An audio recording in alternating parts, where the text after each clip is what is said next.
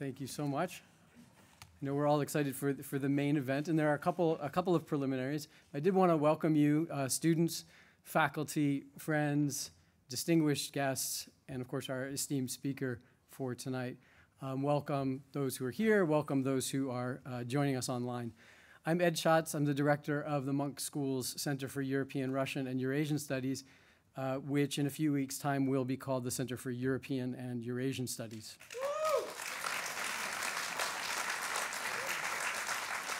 No matter, no matter what we call ourselves, here at the University of Toronto, our center is blessed with terrific students, world-class faculty, and excellent administrative support. As a result, our center is, I think it's fair to say, among North America's most prominent, most active, and most creative centers for research and teaching about the region. Let me give you a couple of, of highlights. Uh, since the full-scale war uh, began, our center uh, and the Munk School more broadly have held countless events uh, numbering, I think, Lucan, over 100 at this point, both in person and online about the war in its various dimensions, and of course, with attention to its consequences. Thanks to the efforts of Munk director Peter Loewen, who I think is here somewhere, Peter over there, um, and our own Lucan Way, we now have a dual degree program with the Kiev School of Economics.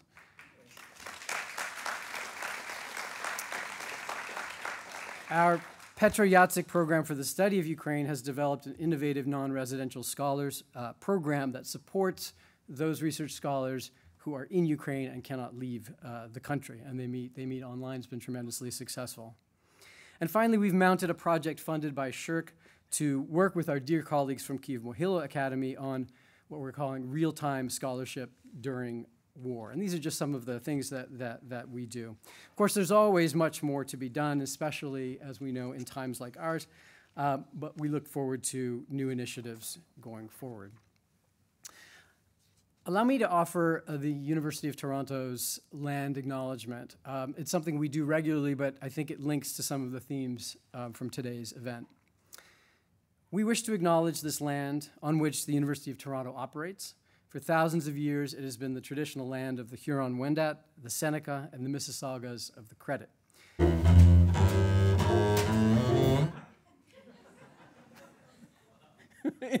Insert humorous music. I think that was Lucan's joke. Okay. Um, today, this meeting place is still home to many indigenous people uh, from across Turtle Island, and we are indeed grateful to have the opportunity to work on this land.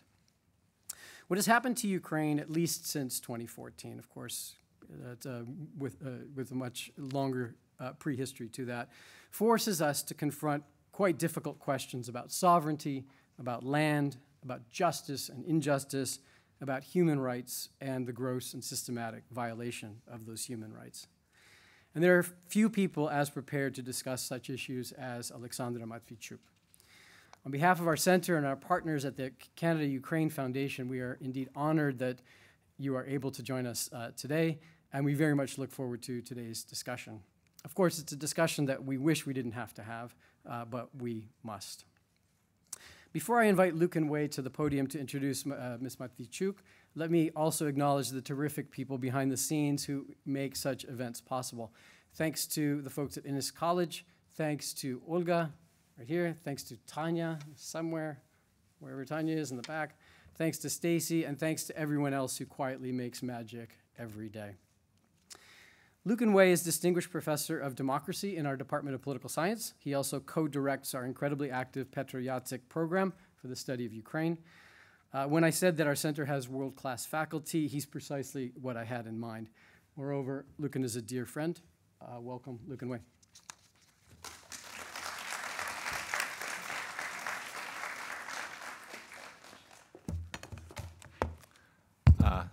Thank you, Ed. Um, and also, I just want to acknowledge Ed's real leadership in uh, changing the name, which met with a little bit of resistance at the university, um, but you know, you really held with it, and I think uh, for good.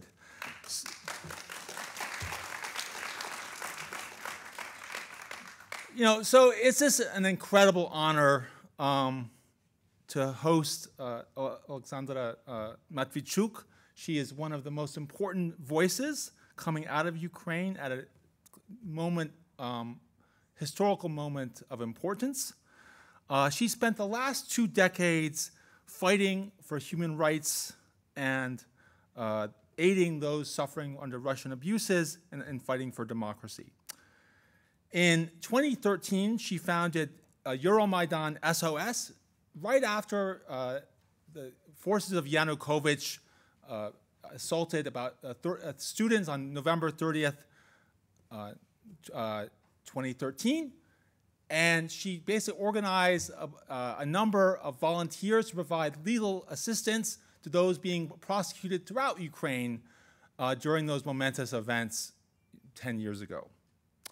In 2007, uh, she founded, helped found the, the Center for Civil Liberties, which became particularly active after the first invasion in 2014, um, aiding those persecuted in Crimea and Donbass, revealing and revealing that a whole host of violations against human rights and crimes against humanities. She's also led a number of different campaigns to release political prisoners captured by Russia.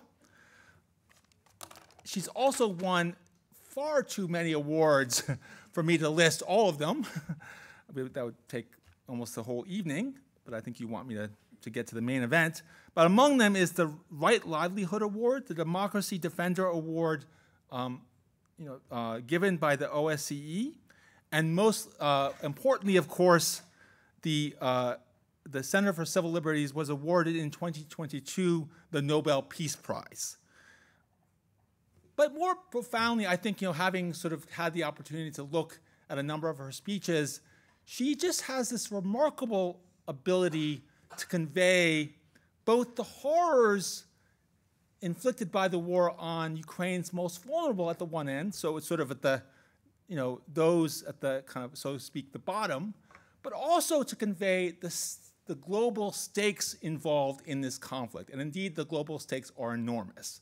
So, of course, those of us who care about Ukraine care deeply about winning the war, but the war, as she note, has noted a number of times, has far greater importance beyond simply Ukraine. And it's about basically what kind of world do we want to live in? Do we want to live in a world in which anytime a country, you know, or an autocracy wants a bit of the neighbor next door, that they do it? A world in which, uh, you know, countries, democracies have to spend an enormous amount on military simply to survive?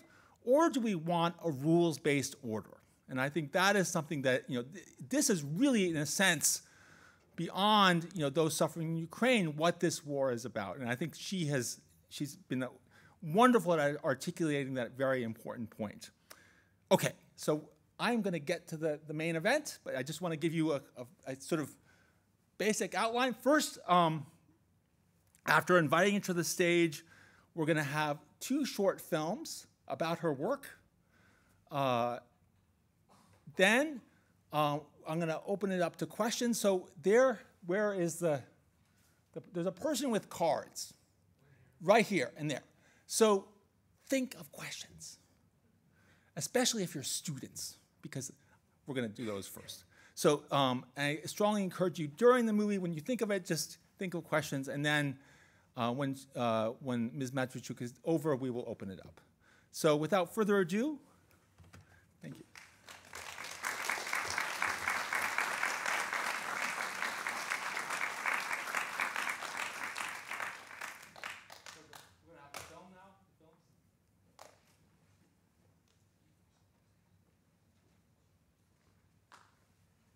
My name is Alexandra Matviichuk.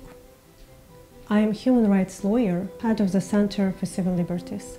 When we speak about illegal deportation of Ukrainian children, we speak at least about several categories. The first categories are children who were deported together with their parents. And their destiny depends whether or not their parents found resources and energy to leave Russia as quickly as possible.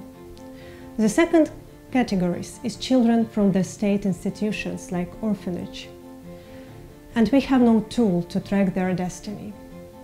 The third category is children who were sent by their parents to summer camps in Russia during the battles on their territories. And when these territories were released, Russians refused to return their children back And fourth category, the children whose parents were killed by Russians were arrested and kept in filtration camps by Russians. And even these children are preparing for a forcible adoption in Russian families, regarding that fact that they have families and relatives in Ukraine. We're in the cause of the war, and that is why we don't know numbers. Ukrainian officials identified almost 20,000 Ukrainian children being illegally deported to Russia. And only 388 of these children were able to return back. But Russian side said about more than 700,000 of Ukrainian children crossing the Russian borders. And we have no instruments either to prove or deny these figures. International Criminal Court last year issued arrest warrants against Russian President Vladimir Putin and his child commissioner Maria Lvova Belova for the forcible deportation of Ukrainian children. International Criminal Court qualified these actions as war crimes.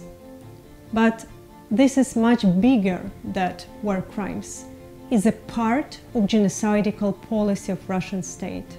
Putin and Russian top officials openly say that there is no Ukrainian nation, there is no Ukrainian language, there is no Ukrainian culture.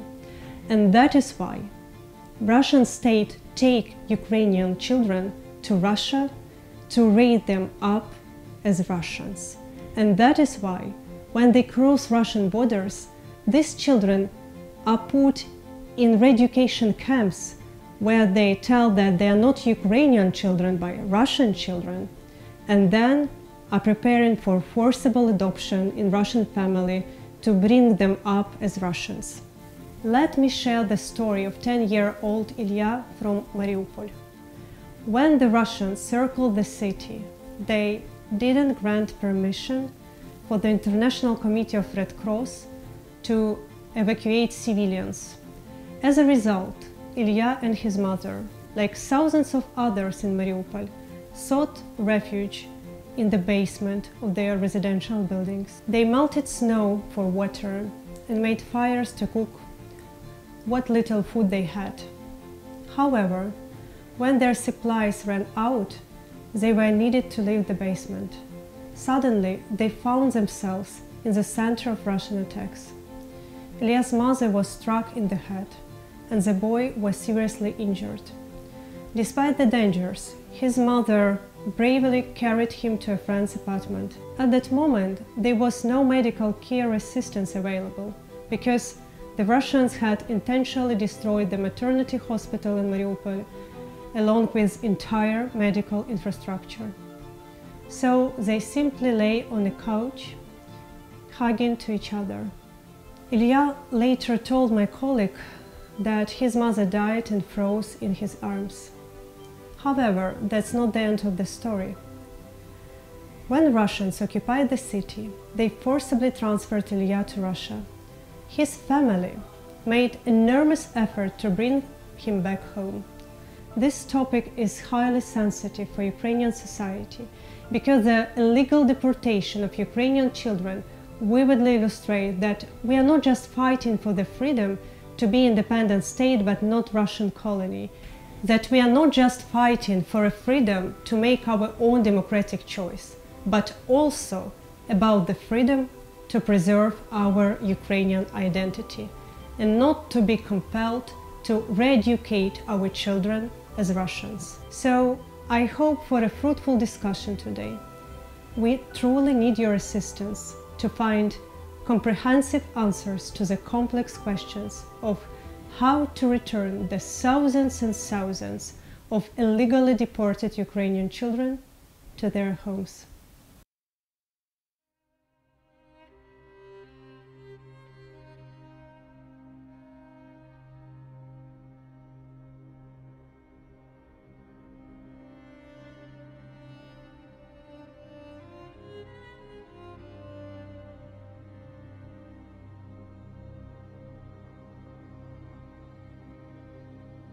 Никто не объяснял, где папа.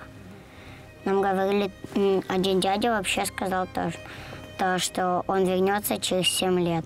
Они сначала спросили у меня, «А, давай э, мы вас отправим а, троих в одну э, семью ненадолго, ну, на время, пока папа сможет вас- нас забрать, или мы вас можем отвезти.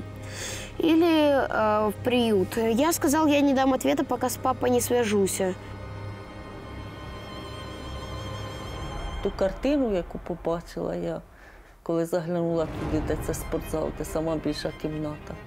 Ну, це справжнє пекло. Пекло в тому вигляді, в якому малюють на старовинних іконах. Не били по голові, це по ногах, по тулубу. Було всього декілька ударів. Чим такі удари, якісь зековські, коли б'ють ладошками, зразу по двох ушах.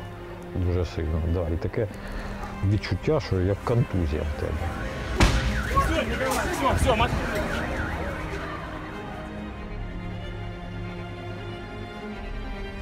Меня чи как-то че оглушило на время, или я не знаю. Я не поняла.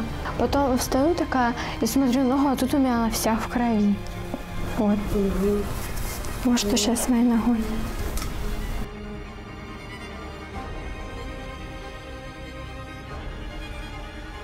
Темно-темно, таке все чорне, і ноутбуки горять. А вони всі розкидані. А ось ця, ця заставка, вона типу вона циклічно крутиться, вона не виключається. Типу. І я вже розвертаюсь. От сидить е, Андрюша Красюк, продавець. І він тягне руку, типу, Славка, помоги. Каже, Андрюшин, давай, давай, ми під час йдемо, йдемо, сонечко, виходимо, давай потихеньку цей. А він кричить, я не можу. Він знову падає, Андрюшу забрали, і він в лікарні помер.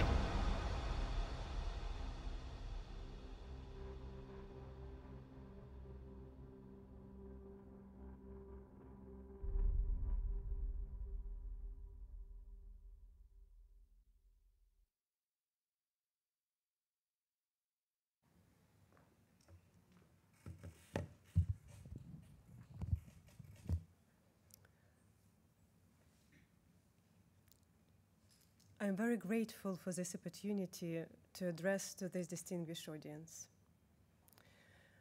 I am a human rights lawyer, and I have been applying the law to defend people and human dignity for many years. But now, as you have just seen in this video, I and others Ukrainian human rights colleagues are in a situation when the law doesn't work.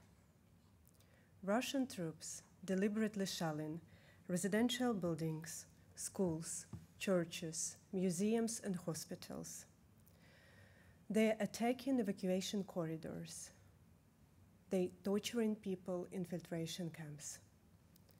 They forcibly taking Ukrainian children to Russia. They ban Ukrainian language and culture. They are abducting, robbing, raping, and killing civilians in the occupied territories.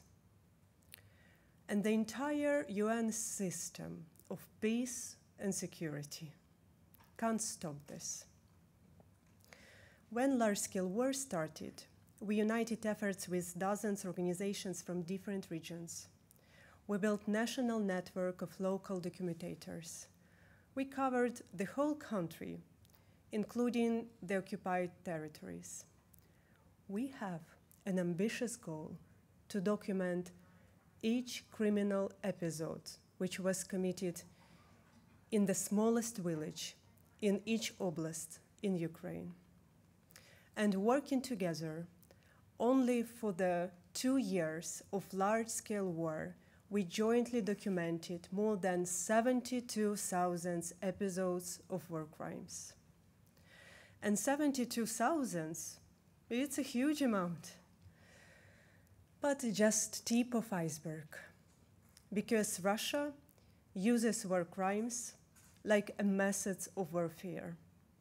Russia attempts to break people resistance and occupy the country by the tool which I call the immense pain on civilian population. So we document something much more than just violations of Geneva and Hague conventions. We document human pain. Let me illustrate it. This is a story of 14 year old Sofia from Mariupol. When Russian troops tried to siege her city, Sofia, her mother, and her younger brother and sister hide in the basement of their building from the Russian shelling. Once the family was bombed by Russian aircraft. Her brother died immediately. Her mother died in a few hours when he was took out from the rubbles of the residential buildings. Sofia and her neighbors buried her mother in the garden of their own household. Let me quote Sophia. I went to dig out my mother. I tried to do it with my hands because there were no shovels nearby. Some aircrafts were flying around me. I was also scared that moment, but I wanted to help my mom. I dug her up so she could breathe, and then I went to ask for help. I have a question. How we people who live in 21st century will defend a human beings, their lives, their freedom, and their human dignity? Can we rely on the law, or does just brutal force matter? The answer to these questions is important not just for people in Ukraine, in Syria, in Myanmar, in Sudan, or in Nicaragua. The answer to these questions will define our common future. I don't know how historians in future will call this period, but we happen to live in very challenging time. The world order, which is based on UN Charter and international law, is collapsing before our eyes. This system was established in past century and provided for some countries irrational indulgences. And now it's stalling and reproducing ritualistic movements. The work of Security Council is paralyzed. This means that such fires like wars will appear more and more frequently in different parts of the globe because the international wiring is faulty and sparks are everywhere. I live in Kiev, and my native city is constantly being shelled not just by Russian rockets, but also Iranian drones. China helped Russia to circumvent sanctions and import technologies critical to warfare. North Korea provided Russia more than a million artillery shells. Syria votes for Russia in UN General Assembly. All these regimes, which captured power in their own countries, have the same joint feature. They have the same idea what a human being is. They see people like objects of control they denied people of their rights and freedom. In opposite, democracies developed the space for rights and freedom for people. And there is no way to negotiate it because only existence of free world always provided threats to dictators of losing their power. And that is why, if we don't be able to stop Putin in Ukraine, he will go further. Russia is empire. Empire is a center, has a center, but has no borders. When empire has energy, empire always tries to expand. When you know the world history, it's very difficult to idealize. past century brought two devastating world wars, colonial wars, and this all pushed humankind to make decisive lessons learned. And we have Nazi uh, perpetrators who were tried on the Nuremberg trials. The UN system was established, the European Union was created, and this understanding that lives of each person matter transferred into slogan never again.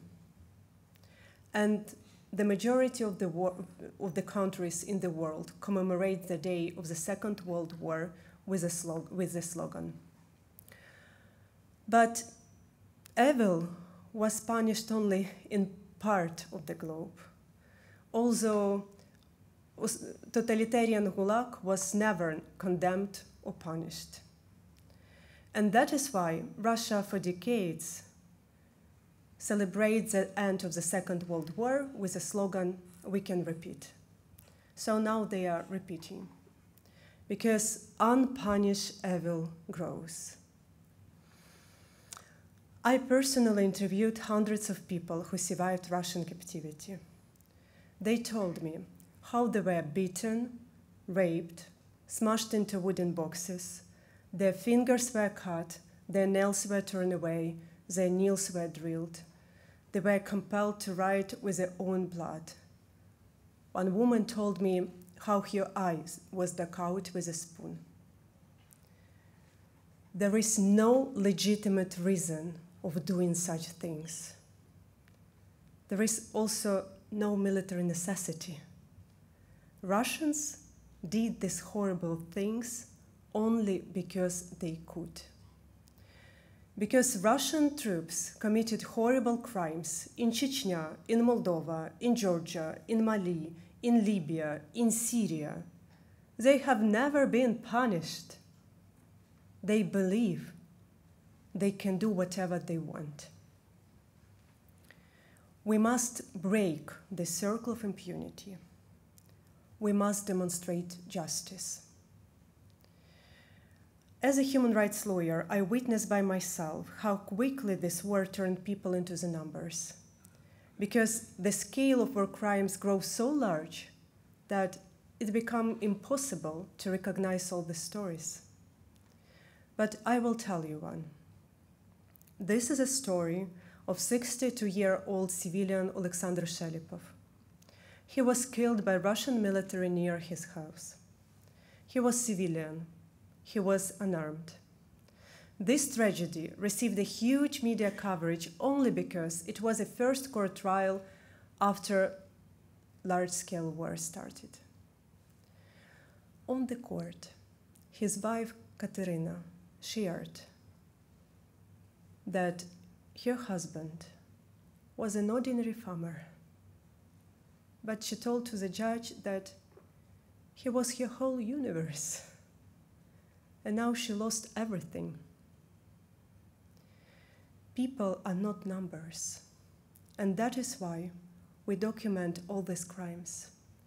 So that sooner or later, all Russians who committed these crimes by their own hands, as well as Putin and top political leadership and high military command of the Russian state, will be brought to justice because we must ensure justice for all victims of this war, regardless who they are, their social position, the types of crime they endured, and whether or not media or international organizations are interested in their case.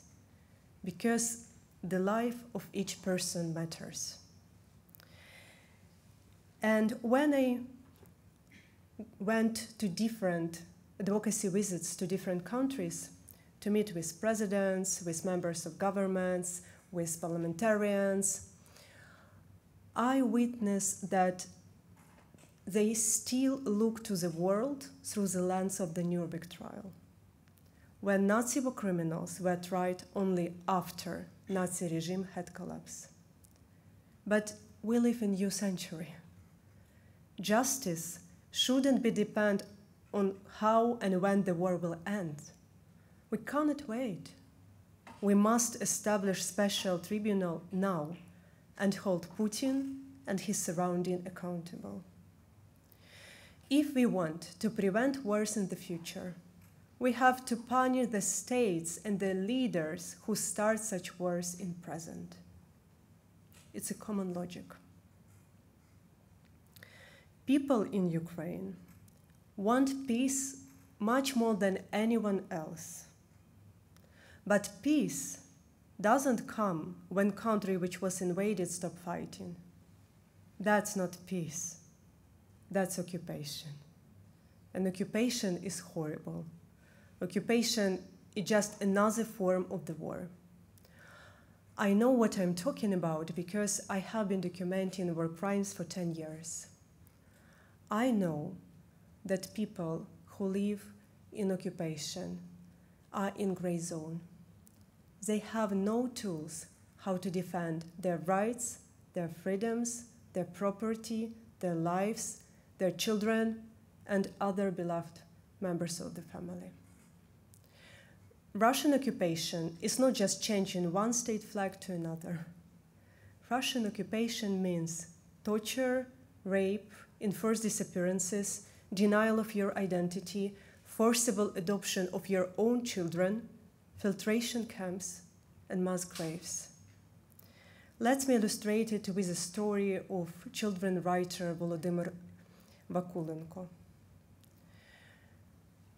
When Ukrainian army released Kharkiv region, we found mass graves near forest, in the forest near Izium. The dead bodies of civilians, men, women, and children, were there. In the unidentified grave with number 319, we found dead body of Volodymyr Vakulenko. Volodymyr Vakulenko was children writer. He wrote beautiful stories for children, and entire generations of Ukrainian children brought up on his Daddy's book. During Russian occupation, he disappeared. I know his family. His family hoped to the last that Volodymyr is alive. And, but like other thousands Ukrainian civilians are in Russian captivity. It was very difficult for them to accept the result of the identification. Probably you can ask me, why Russians killed children writer? The answer is simple, because they can. To be clear, Ukrainians in this war fighting not just for territories. First and foremost, we are fighting for people who live there. We have no moral rights to leave these people alone for torture and death. The life of people can't be political compromise. And the political claims to Ukraine to satisfy Russia's imperialist appetites and to bring up part of territories, such claims are not just wrong because Putin will not stop. Such claims are immoral. This war has a genocidal character. Putin openly says there is no Ukrainian nation, there is no Ukrainian language, there is no Ukrainian culture. For 10 years, we document how these words converted in horrible practice on the ground. When Russian troops deliberately exterminate active local people, mayors, priests, children writers, journalists, entrepreneurships, how they deliberately destroy Ukrainian cultural heritage, how they forcibly take in Ukrainian children to Russia in order to bring them up as Russians. We have no other choice. If we stop fighting, it will be no more us. This war started not in February 2022, but in February 2014. It was a time when millions of Ukrainians stood up their voice against corrupt and authoritarian pro-Russian government. They peacefully demonstrated just for a chance to build the country where the rights of everybody are protected.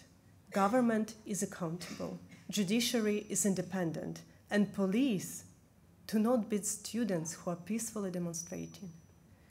And we paying the highest price for this chance. That time, I was a coordinator of civil initiative Euromaidan SOS. We brought up thousands of people to provide legal assistance to persecuted protesters. And every day, hundreds and hundreds of people who were beaten, arrested, tortured, accused in fabricated criminal or administrative charges pass through our care. And when we succeed, an authoritarian regime collapsed, and we got this chance for democratic transition, in order to stop us on this way, Russia invaded. Russia occupied Crimea, part of Luhansk and Donetsk regions, and two years ago extended this war to the large scale invasion. Because Putin is not afraid of NATO, Putin is afraid of the idea of freedom, which came closer to Russian borders. And that is why this is not just a war between two states. This is a war between two systems authoritarianism and democracy. And with this war, Russia attempts not just punish people in Ukraine for our democratic choice, which we made 10 years ago. Russia wants to convince the entire world that democracy, freedom, human rights, and rule of law are fake values because they couldn't protect you during the war. Russia attempts to convince that country with a strong military potential and nuclear weapons can break international order, can dictate its rules to entire international community, and even forcibly changed internationally recognized borders. And if Russia succeeds, it will encourage other authoritarian leaders in different parts of the globe to do the same international system of peace and security is not working. This means that democratic countries will be forced to invest the money not in education, healthcare, business, art development, not in solving global problems like climate change or social inequality, but in weapons, will witness an emerge of a number of nuclear states will witness emergence of new weapons of mass destructions and robotic armies. If Russia succeeds and this scenario comes true, we will find ourselves in a world which will be dangerous for everyone without any exceptions. And that is why, in this war, Ukrainians are fighting not just for ourselves we are fighting for the international order and peace which was established after the Second World War. And regardless whether people in Western democracies have bravery to admit it or not, people in Western democracies are safe only because Ukrainians are still fighting. As a human rights lawyer, I know when you can't rely on the legal instruments, you can still rely on people. We get used to look to the world through the lens of states and interstates organizations, but ordinary people have a much great impact that they can even imagine. Ordinary people can make history. And people in Ukraine is a bright example. I was in Kiev when Russians tried to circle Kiev. I refused to evacuate, but I witnessed how even international humanitarian organizations evacuated their personnel. They leave us alone. Because not just Putin, but also international partners believed that Russia is so enormous opposing power that Ukraine has no potential to resist but ordinary people remained. And ordinary people started to do extraordinary things. It were ordinary people who helped to survive under artillery's fires. It were ordinary people who took people out from the ruined cities. It were ordinary people who broke through the encirclement to provide humanitarian aid. And suddenly, it became obvious that ordinary people fighting for freedom and for human dignity are stronger than even the second army in the world. I would never wish any nation to go through our experience because war is horrible. Probably it's the worst things which can happen in the human life. When large scale war started, everything which I call normal life was ruined, was crushed in the thousands and thousands of pieces. A possibility just to go to work, to meet with your friends in cafe, to hug your beloved ones, to have family dinner, everything disappeared. To live during large scale war means that you live in total uncertainty. You can't plan not just your day, you can't plan your next several hours because you don't know what will happen. To live during large scale war means that you live in constant fear for your beloved ones because there is no safe place in Ukraine where you can hide from Russian rockets. My friends from Kharkiv told that it takes just 42 seconds for Russian rockets from Belgorod to hit Kharkiv. What you can do having 42 seconds? You can't even hide. But these dramatic times provide us, as ordinary people in Ukraine, an opportunity to reveal the best in us, to be courageous, to fight for freedom, to make difficult but right choices, to take burden of responsibility, and to help each other. Because when we help in each other, when we sacrificing our life for saving others whom we never met before, only in this moment we can acutely aware and acutely feel what does it mean to be human. And I'm here to say that despite everything, the story of Ukraine, it's a life-affirming story. Because dramatic times raise hope. Because when the freedom was denied, it became powerfully break out through the, every concrete individuals. Because we still have a chance to fight. Our future is unclear, but we all know that future is not pre-written. And this is a luxury to have right to fight for future which we want for us and for our children. We all knowing for what we are fighting for. We are fighting for freedom which have no limitation in national borders we all know that only spread of freedom make our world safer. Thank you.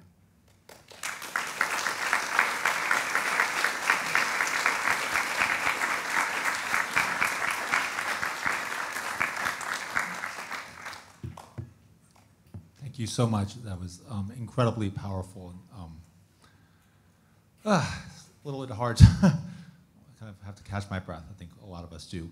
Um, please uh, send up um, questions. Um, in the meantime, I'm going to sort of start. So you mentioned that uh, you've collected uh, 72,000 evidence, evidence of 72,000 war crimes. And of course, um, there's been quite extensive media coverage of Ukraine. I mean, not as much as there once was, but still an enormous amount.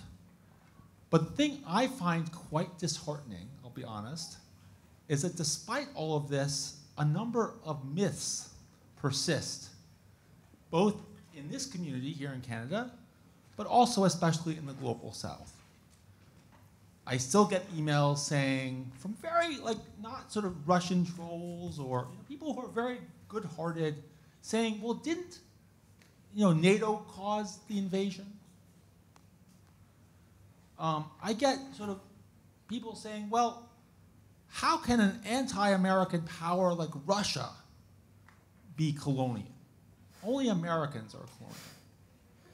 And of course, we get, you know, in the highest levels of government, as you well know, a persistent idea that if you respond to Russia's aggression, that will be escalatory.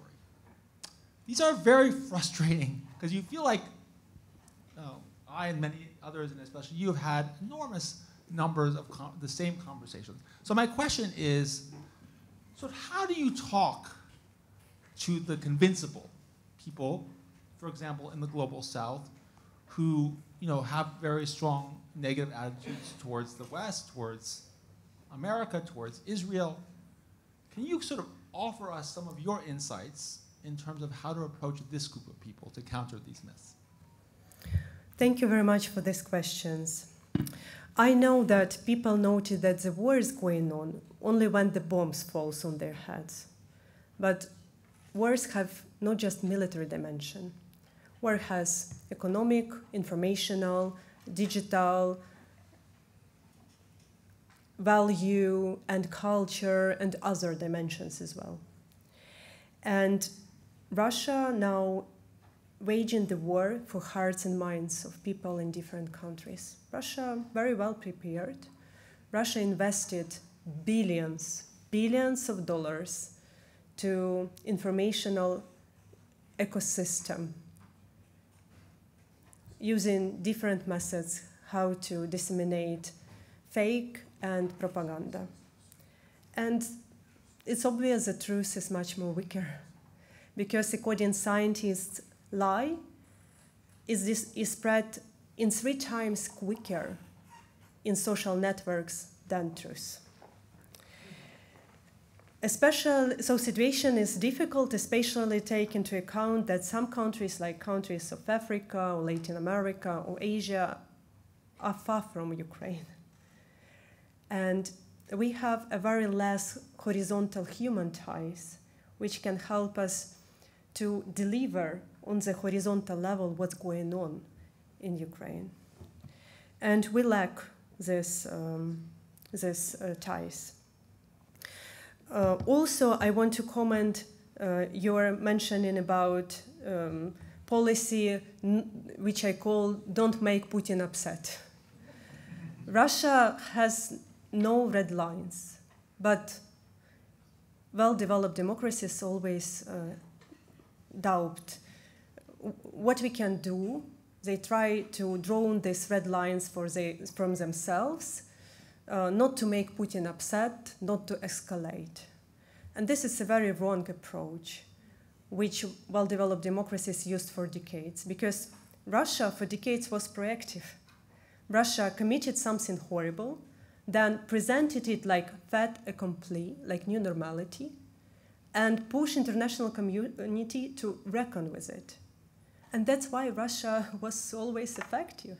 Because when you just reactive, when you have no strategy, when you don't take initiative, it means you will play on something rule of game. And you will always fail because you have faced with cheaters, liars, and criminals. So this is a problem that still well-developed democracies are afraid to take initiative and to take decisive action to defend democracy and freedom.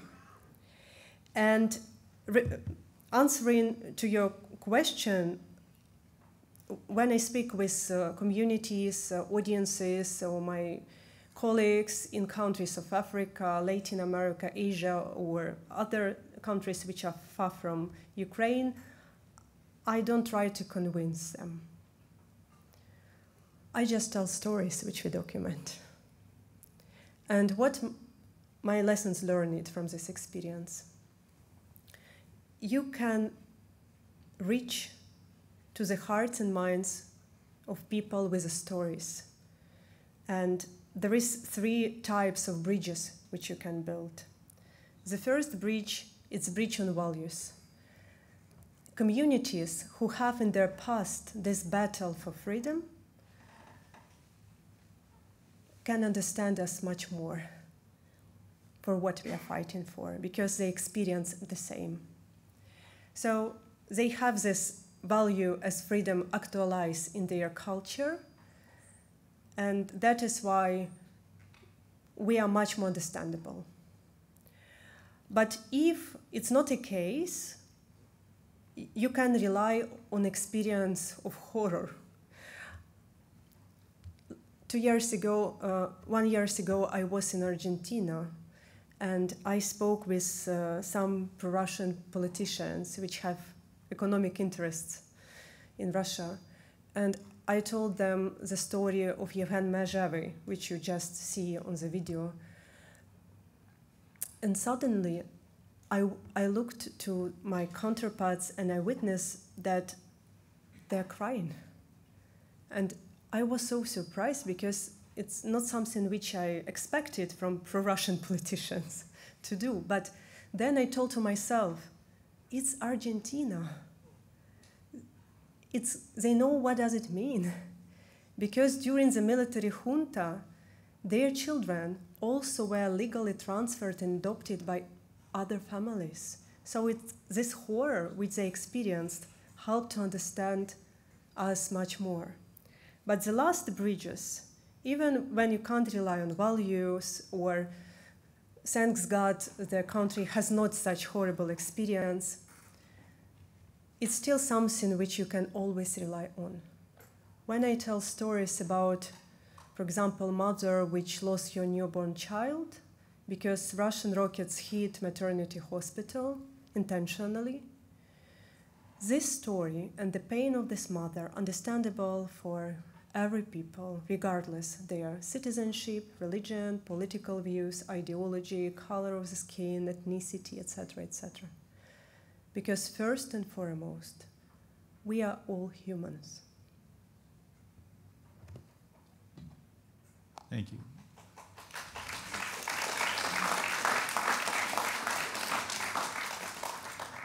So my next question has to do with, I think, a question that has been plaguing a lot of us who watch uh, what is going on in Ukraine. Um, I was just there for a week, and you know, experiencing um, in Kiev, which is a lot better than in some other places, but these constant air raid sirens. And I have to tell you, um, after just one week, there were no actual bombs when I was there. After just one week of, of air raid sirens, I was incredibly stressed out.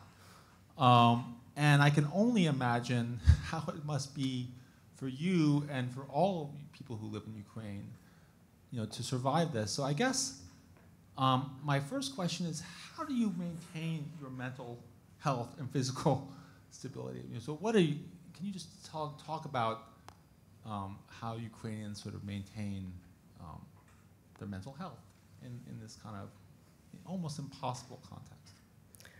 Let me answer into this question with uh, one personal story. In December 2022, I found myself in a flat without heating, light, electricity, water, internet connection, and then even the mobile connection was disappeared.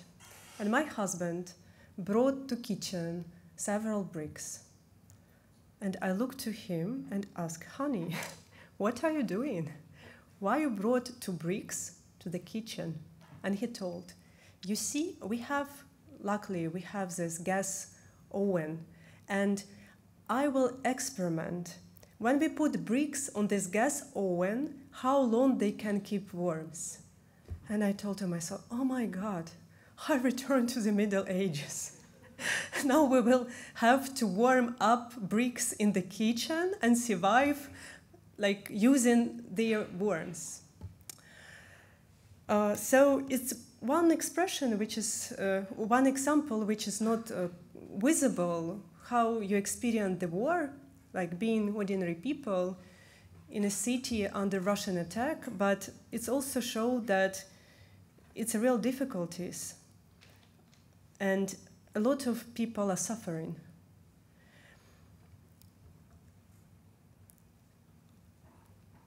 Frankly speaking, I myself wasn't prepared. I told you that I have a the um, document war crimes since the war started in February 2014, we was the first human rights organization who sent mobile groups to Crimea, to Luhansk and Donetsk regions. We was the first who made the list of political prisoners in the Russia. We was the first who started international campaigns to release them, so I know a lot about torture, sexual violence, ill treatment, and extrajudicial killings in the illegal place of detentions. But when large-scale war started, I faced with such enormous amount of pain that I understood that even me, with all my experience, with all my knowledge, with all my previous years of work, wasn't prepared for this horror. And that is why it's not easy question to answer. But what helped me personally to keep going? It's two things. First, I believe that our efforts matters. I know this from Ukrainian history because uh, I was brought up by Ukrainian dissidents. And dissidents movements, it was a movement of intellectuals uh, who bravely used their words and their own position against uh, the whole Soviet totalitarian machine. And when you look to these um, dissident movements from the short-term perspective, you can say that they are failures because the dissident movements was crushed. Part of people were jailed, part of people were killed, part of people uh, were put uh, for forcible psychological treatment. Um, all families were separated, all careers were ruined. But when you look to the, from the long-term perspective, and we can have, we can look from the long-term perspective to this uh, historical uh, event, we all know that we managed to restore our independence in 19th only because it were bravely people, brave people, who struggled against this whole Soviet totalitarian machine. So this understanding that all efforts matters helped me personally to keep going. And second, probably I will mention responsibility. I remember one person who told me his story. He found me um, by himself. Uh, he was illegally detained in Donetsk. He was um, uh, tortured. Uh, he subjected to sexual violence.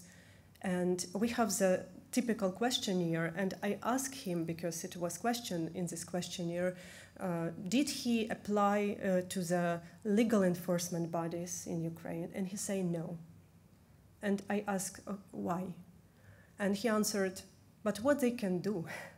they can't arrest my perpetrators in the occupied territories in Russia, so I don't want to waste my time.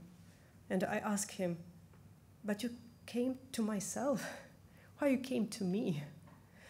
And he make a pause, and then he start to speak long monologue.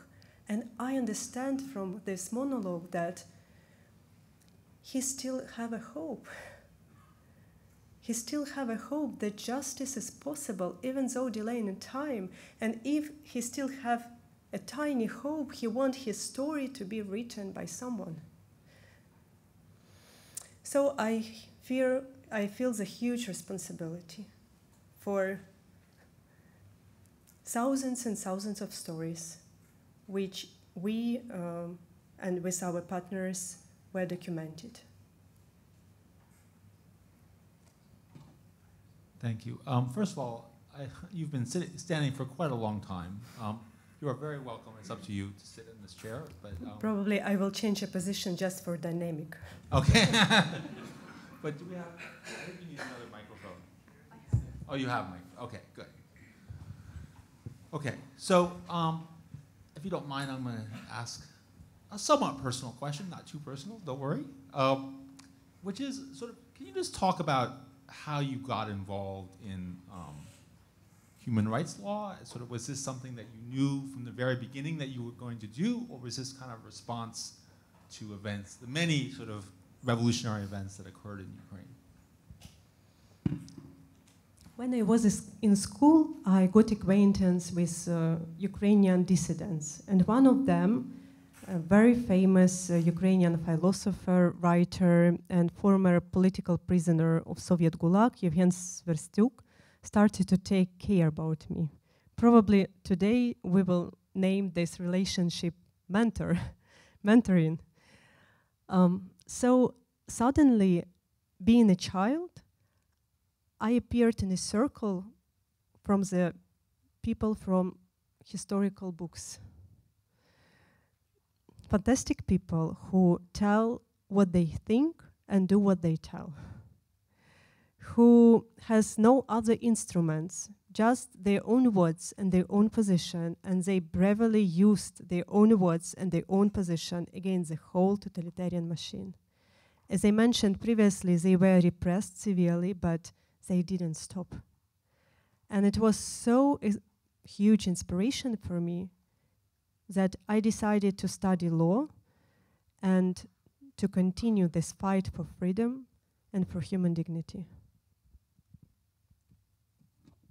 Thank you. Um, so my next question relates to you mentioned your the project on the tribunal, and of course we also have um, the uh, International Criminal Court of Justice, which um, has a warrant out for the arrest of um, Vladimir Putin. Um, can you talk about sort of ways to sort of uh, how can we sort of make these efforts successful? I mean, so and, and what are the prospects do you think of these various initiatives? The problem is that even well-developed democracies don't understand that peace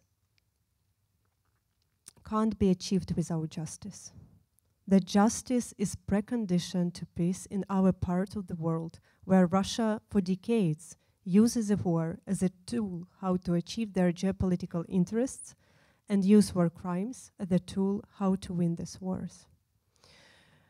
And that's why they don't make to create such a tribunal as priority. Also, uh, there is a problem that Russia can create their own tribunal. Russia can invite Venezuela, Syria, North Korea, Eritrea, Nicaragua, and um, turn the whole idea of justice into absurd. And this means that we have to create a tribunal in a way that there will be no doubt in its legitimacy. This means that we have to create this tribunal in in a frame of international organizations. And United Nations is priority, but because the Security Council is paralyzed, it means that we have to get two-thirds majority of votes in UN General Assembly. And unfortunately, it's not a case for current moment. And that is why we are working on a parallel track. We are thinking how to create a special tribunal on a frame of regional international organization, like Council of Europe. But what is also important, I mentioned in my previous speech that uh, sometimes when I meet with politicians, they told me that let's wait when you win this war. Like the justice belongs only to, to countries who win. I think it's a very wrong approach because we have to send a strong signal that if you start the war, regardless, will you win this war, will you lose this war, if you start the war, you will be punished. Because it's a common logic, but in the whole history of humankind, we have only one such precedent. It was Nuremberg trial. All other tribunals, which you probably heard, like Yugoslavia Rwanda tribunals or special court in Sierra Leone, uh, it was court, it were courts where perpetrators uh, were persecuted because they kill each other not according rules, because even wars has rules. But we have to prosecute people who start the war, not because they kill each other in the war not according the rules. We have to put the the wars beyond the legal frame. And I think that this is historical task for people who live in 21st century. Okay, the next question I'm sure is on the minds of everyone in this room, which is I'm quite gratified to see that there are large numbers of you, um, which is what can people here do to help Ukraine? People here can do a lot, especially taking into account that you live in democracy and you can have influence to political decisions. And I'm not the smartest person in this room, and I can't tell you what you have to do because you know better. And because there are hundreds of methods how to be useful.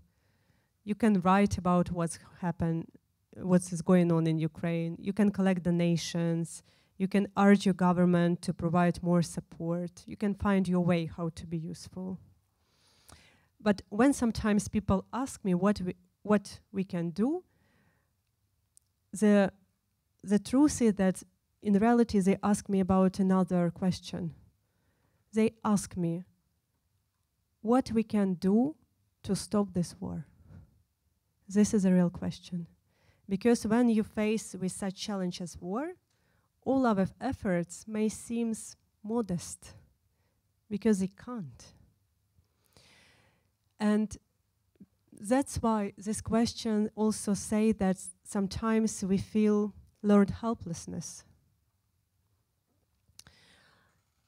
And when I refer to overcoming learned helplessness, I me memorize the banner which was done by artists during the Revolution of Dignity. It was banner with a drop, and it was a title. We are drop, drops in the ocean, which means, yes, we are human beings. We are not gods. Our efforts are modest, but all efforts matters because together we are ocean. And okay, probably we can't stop this war with our concrete individual efforts, but without our efforts, nothing will be stopped. So I can't tell you what you have to do. I just ask you to take actions because we need your help. This is the truth, especially now when the world lost interest to Ukraine. I always ask myself if Russians commit this horrible thing in Bucha when the whole world was watching, what the hell is awaiting us if the world lost interest? Thank you. So I'm gonna. This next question is a bit more optimistic, um, which is I think you know, as you mentioned, many people underestimated Ukraine, uh, above all Putin, um, but many other people who were much more, um, you know, had better relations with Ukraine. Um, how do you? I mean, how do you explain the fact that Ukraine responded so successfully to, um, in the initial weeks of the invasion? I mean, what was the source of Ukrainian strength? Was it the sort of Zelensky, or was it society, or so? Where would you, you know, you know, root this? I think that um, authoritarian regime look to the world through the special prism. They don't believe in power of people.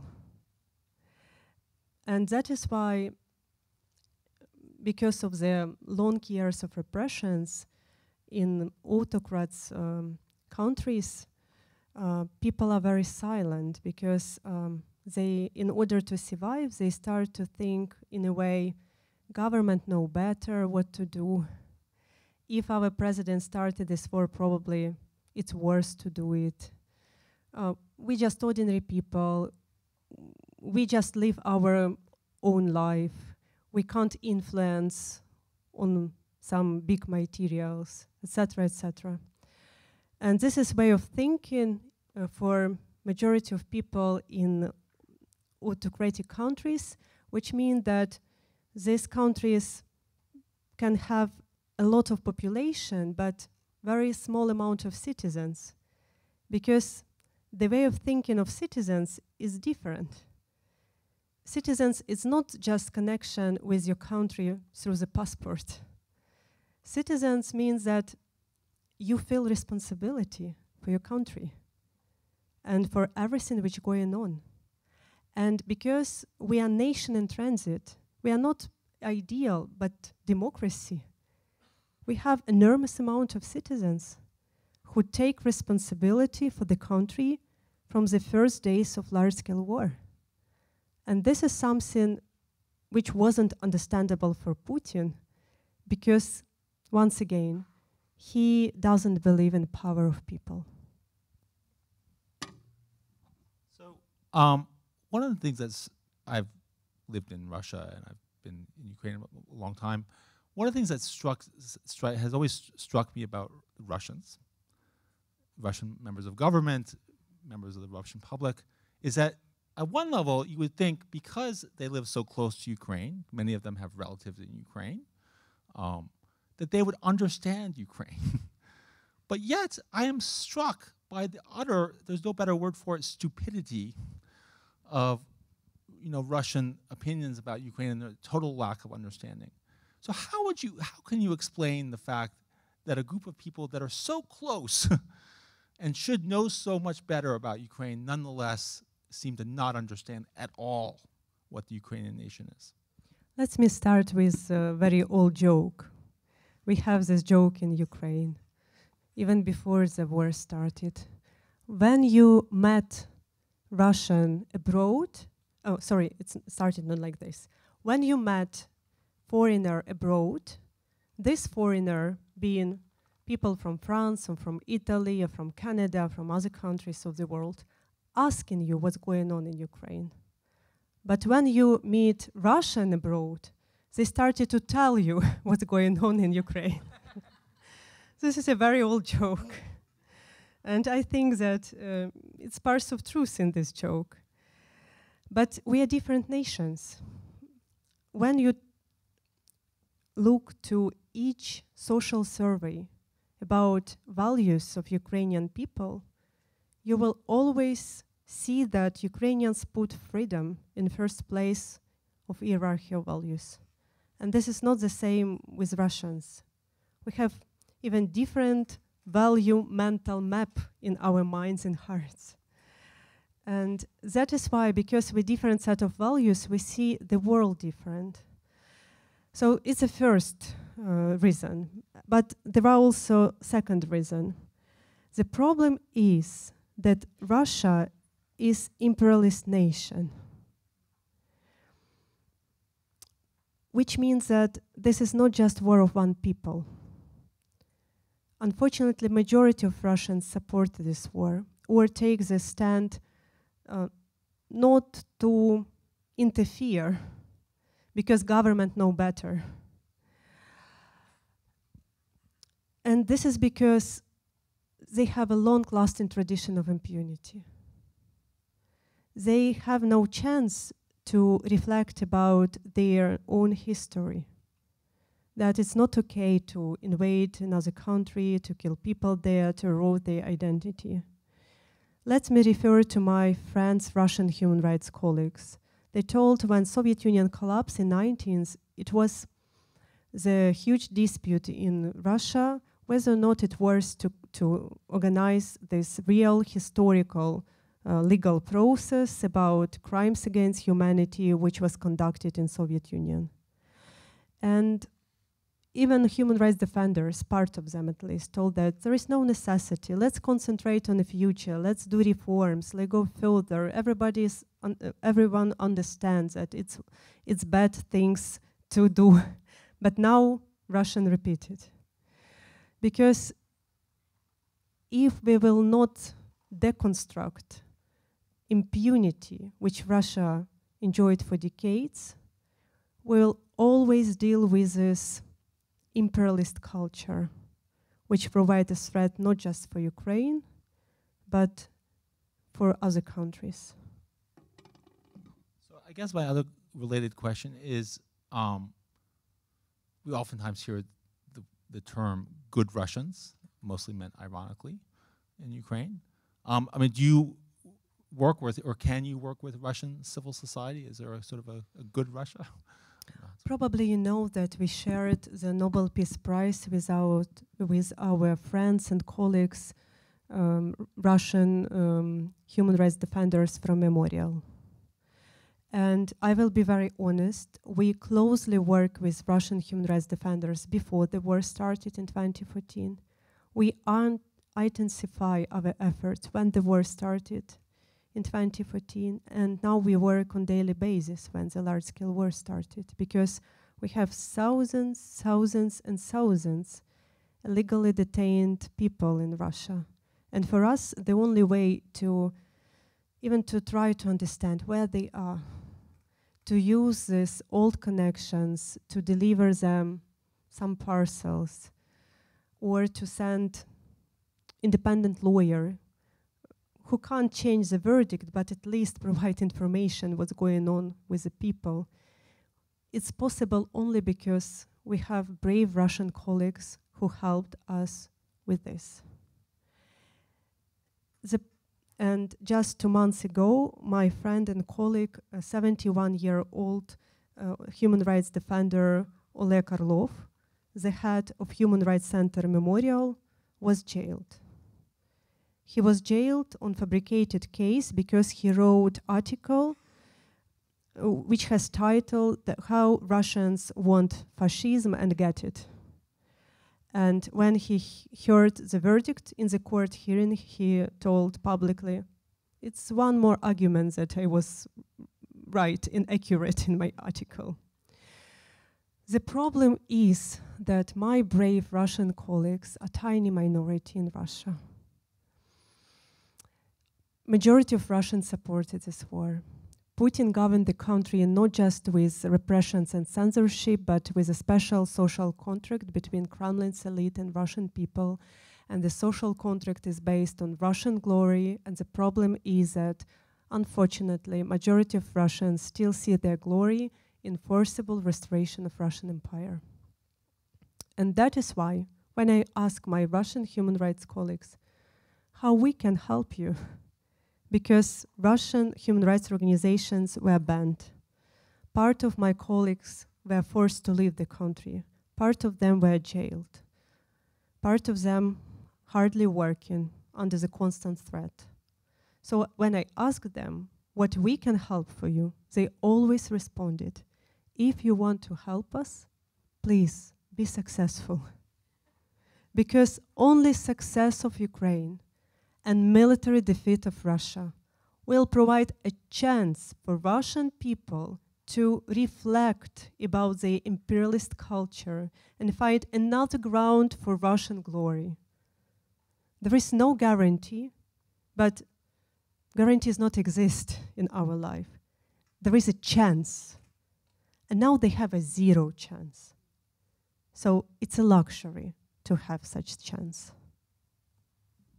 Thank you. And I guess a related question, which is, we've uh, you know, um, the last six months have been somewhat disheartening for many people. We thought the counteroffensive would, would be more successful, but where is you see Ukraine winning in the war in terms of drones or social media, or, or so? Where are your areas of optimism in terms of the military effort? I'm not military expert, but I'm citizen of my country, which is fighting against Russian aggression, and suddenly understood, um, not now, but uh, some times ago, that we, if we want to get right answer, uh, we have to ask right question. It's not just problem of Ukraine. we have to ask what we, civilized world, have to do to stop Russia. What our common strategy? Because if we always hear that you, we know you're fighting not just ourselves, you're fighting for Europe. Where our common strategy how to win this fight? When large-scale war started, civilized world told, let's help Ukraine not to fail. And Ukraine obtained first weapons to be able to defend ourselves. And first real sanctions against Russia were introduced into force. And we are extremely grateful because it helped us to survive. But it's also an explanation why Ukraine was waiting for a first modern tank for more than a year. Why we're still waiting for modern planes. Why we had to start counteroffensive last year without zero possibility to secure Ukrainian sky. Because there is a huge differences between two narratives. Let's help Ukraine not to fail, and let's help Ukraine to win. and we can practically measure these differences in types of weapons, in speed of decisions, in gravity of sanctions. We have to set a common goal, how to help Ukraine win. And this is not just question for Ukraine. It's a question for all of us. Because if we not be able to stop Putin in Ukraine, he will go further. People who released from Russian captivity told us that Russians said, first we will release Ukraine, and then together with you, we will go to conquer in other countries. And the process of forcible mobilization is going for this all years in occupied territories. And when you look what is Russian army is, you will see there a lot of not ethnic Russians, people from Buryatia, Tatarstan, Yakutia, Ingushetia, Dagestan. This is a policy of empire. To use empire which see human life like a cheapest resources and see indigenous people like a fuel for imperialistic goals. Thank you. I think that wraps it up. Thank you. Um, but thank you so much. Um, that was incredibly moving and, and educational. But there is more. it's a little surprise um, that we have the pleasure uh, to introduce my old friend, Chrystia Freeland, who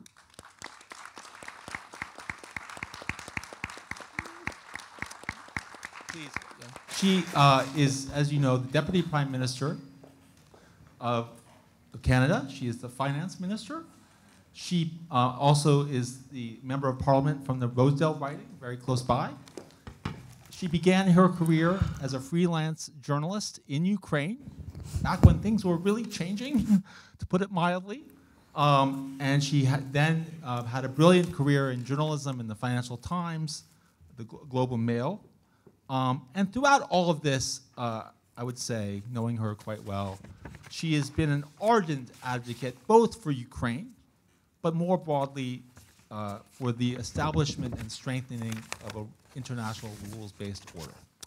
So without further ado, Chrystia, go for it. Okay. Um, well, good evening, dobre večer.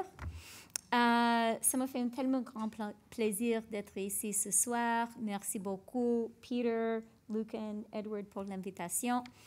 Um, I'm so sorry to have arrived late. Um, I think and I hope Alexandra will forgive me when I explain the reason. Um, I agree with Alexandra that a country, a society, is only as strong as its people and its democracy. Uh, and democracy is, of course, a noun, but we have to make it a verb. And as you may know, there's a by election coming up just north of my riding. So I was out canvassing um, for a little bit this evening before coming here. Um, but I did um, really want to come here. Um, and first of all, to say to Alexandra, um, on my behalf, um, we are Lucan actually in my riding of University Rosedale, so as the local MP, but also as Canada's Finance Minister and Deputy Prime Minister. Thank you so much. Дуже, дуже щиро вам дякую.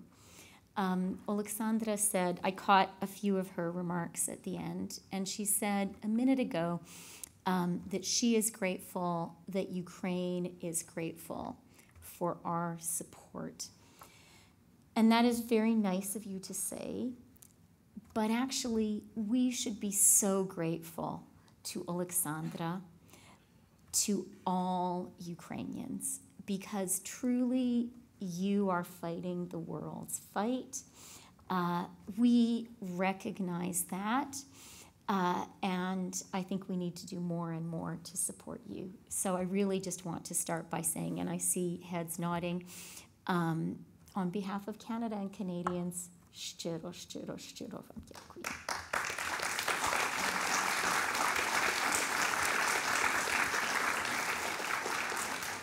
There was a really beautiful example uh, just yesterday of the recognition of so many of the people of the world's democracies of what I've just said. Um, I'm sure we have all seen that amazing video of President Zelensky at the D Day commemorations. Um, our Prime Minister, Prime Minister Trudeau, introduced President Zelensky to an American veteran who was there. Um, and I wrote down the exchange. Um, the American veteran said to President Zelensky, You are the savior of the people. And President Zelensky said, No, no, no, you saved Europe. And the veteran said, You are our hero.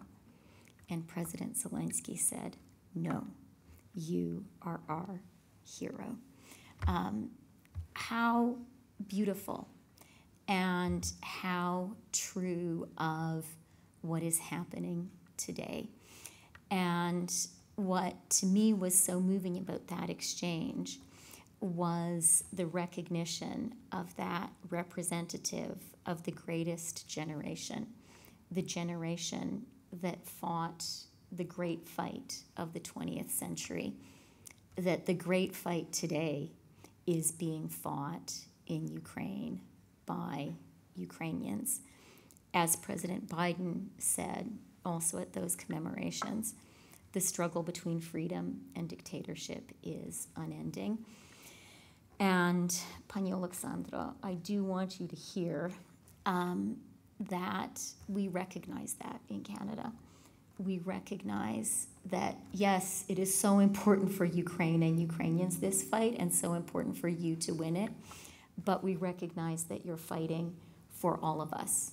That is where the battle lines in Ukraine today are the battle lines between democracy and dictatorship.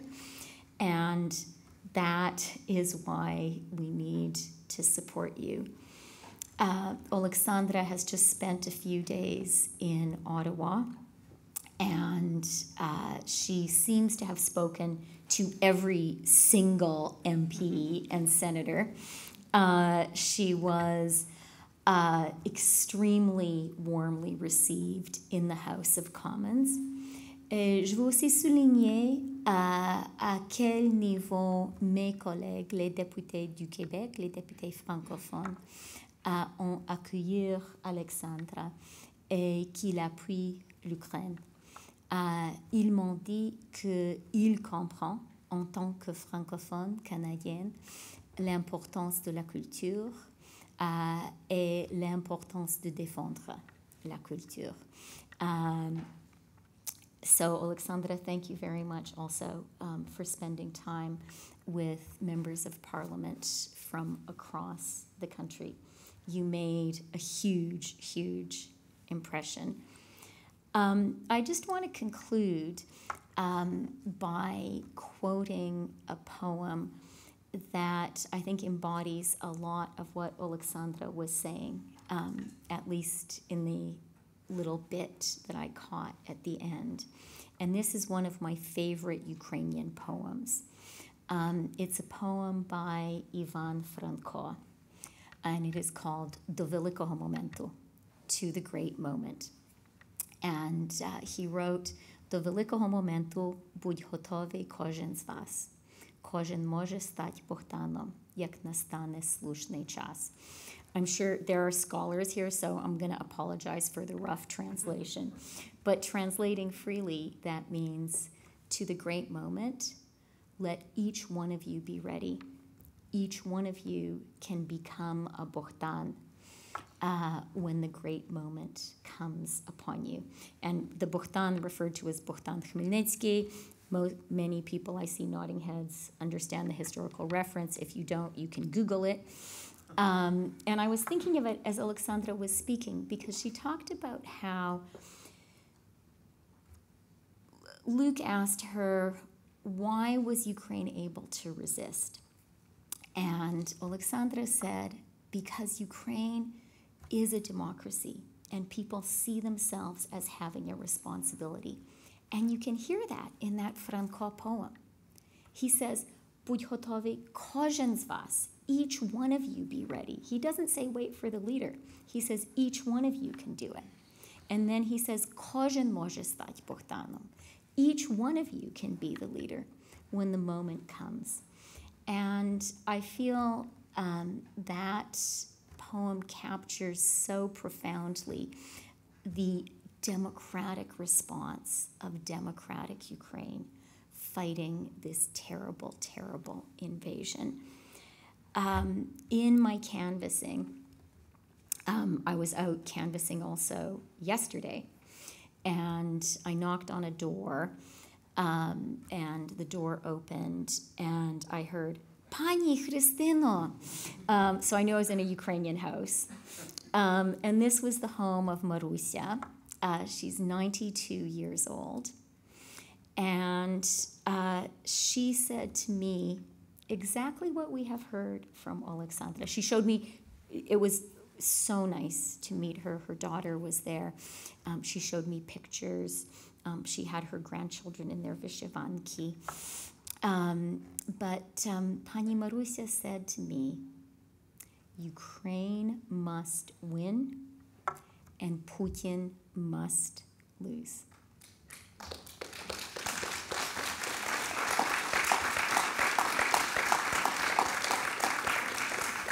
And Alexandra, so you understand, that's just like a regular Canadian person whose door kind of surprised to have the finance minister show up at her house at like 6:30 at night on a Thursday, but that's Canadian democracy. And she understood 100%. She was so so convinced and so certain.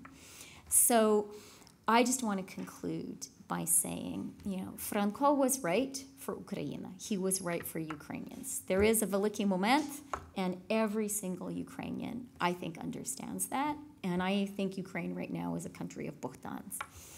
Um, but it is our veliki moment. It's our big moment also for every citizen of every democracy in the world. All of us, all of us have to recognize the stakes.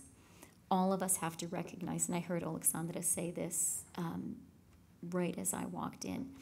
Um, each one of us has to think every day what can we do to rise to this occasion, to rise to this veliki moment. So um, it's an honor to be here tonight. Uh, and let me just say, Slava Kanagi, Slava Ukraini!